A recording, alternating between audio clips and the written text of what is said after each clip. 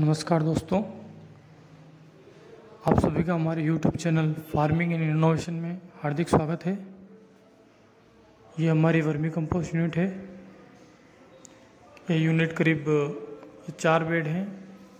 एक बेड करीब चार फुट चौड़ाई है और अस्सी फुट लंबाई है। तो चार बाई अस्सी के ये टोटल चार बेड हैं। ये रेन पाइप है। वाटरिंग करने के लिए काम लेते हैं। ये रेन पाइप भी करीब 80 फीट की है। इस तरह की हमारे पास टोटल तीन रेन पाइप हैं, जो हमारे सारी वर्मी कंपोस्ट यूनिट के वाटरिंग के लिए काफ़ी है। पानी देने के लिए हम इसका इस्तेमाल करते हैं।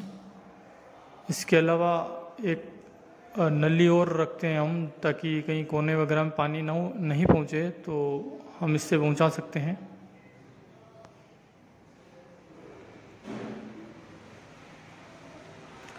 ये इस तरह के बेड हैं।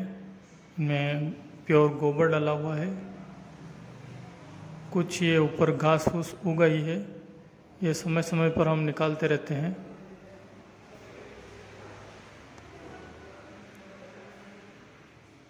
धन्यवाद।